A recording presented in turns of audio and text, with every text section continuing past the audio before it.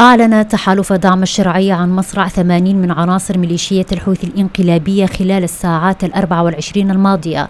وقال التحالف أنه نفذ 22 عملية استهداف آليات وعناصر الميليشيات في صرواح والبيضاء والجوف لافتا إلى أن عمليات الاستهداف شملت أيضا تدمير 19 من الآليات العسكرية التابعة للميليشيات الحوثية الموالية لإيران.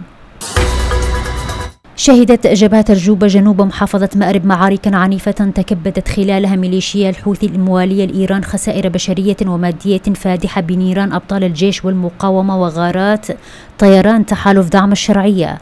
وقال مصدر عسكري للمركز الإعلامي للقوات المسلحة أن أبطال الجيش والمقاومة شنوا هجوما استباقيا على مواقع معادية تمكنوا خلاله من تدمير قدرات الميليشيات الحوثية وأوقعوا العديد من العناصر الحوثية بين قتيل وجريح بينهم قيادات ميدانية.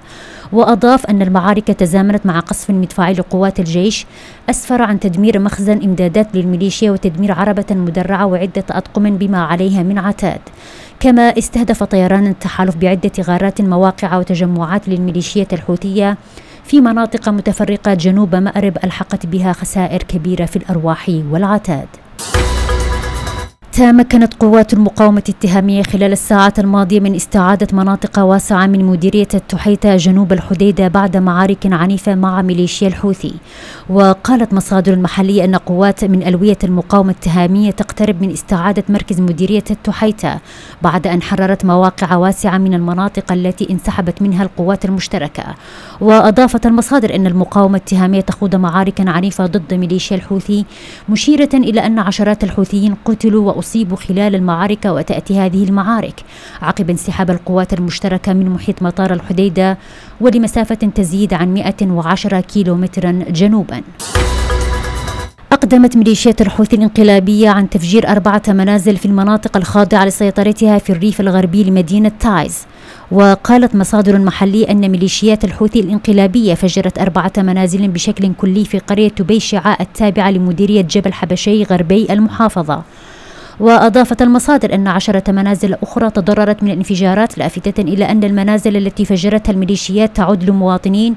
يأتي ذلك بعد نحو أسبوعين من مواجهات بين قوات الجيش وميليشيات الحوثي الانقلابية. شهدت هذات المنطقة الواقعة غرب المدينة.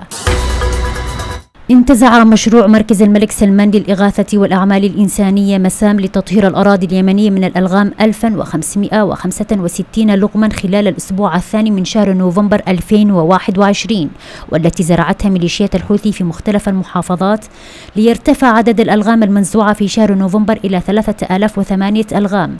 مشيرا إلى أن عدد الألغام المنزوعة منذ بداية مشروع مسام حتى الآن 287645 لغما زرعتها الميليشيات الحوثية بعشوائية لحصد المزيد من الضحايا الأبرياء من الأطفال والنساء وكبار السن.